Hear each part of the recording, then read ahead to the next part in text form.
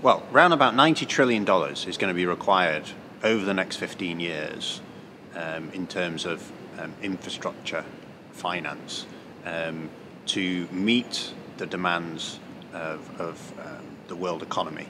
Um, and um, over three quarters of that will be required in, in the world's growing urban areas. and that $90 trillion can either be brown or green.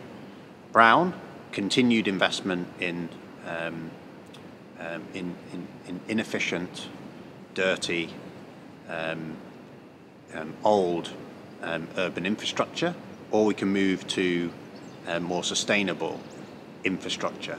Green, more livable, um, better in terms of livability and the environment, improvements in terms of air quality, etc. Um, local um, finance, particularly involving municipal authorities in cities all around the world, will be absolutely critical to delivering on that um, goal.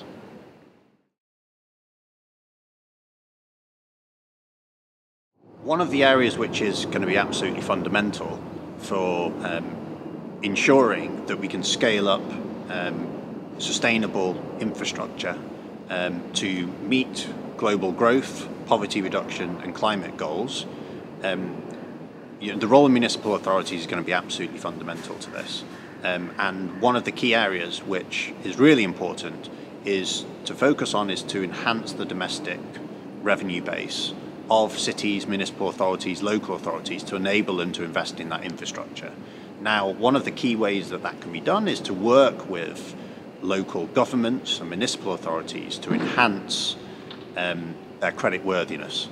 Um, one example of this is um, the Kampala City Authority recently worked with PPIAF, a major international um, financing facility, to help improve their ability to raise domestic revenue and to improve the just transparency and governance related to, to, to financial revenues.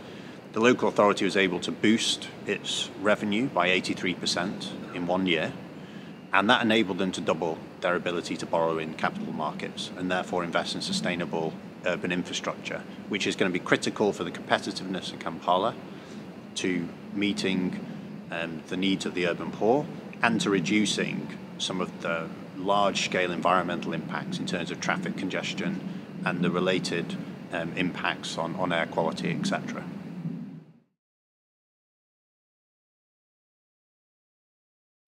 key question really is how do you equip local government and related community groups um, and the private sector with the resources um, to invest in the right type of um, sustainable infrastructure. Now, there's a number of mechanisms which are really important. Land based financing is absolutely a mechanism which is underexplored and underdeveloped, particularly in the fast growing developing world.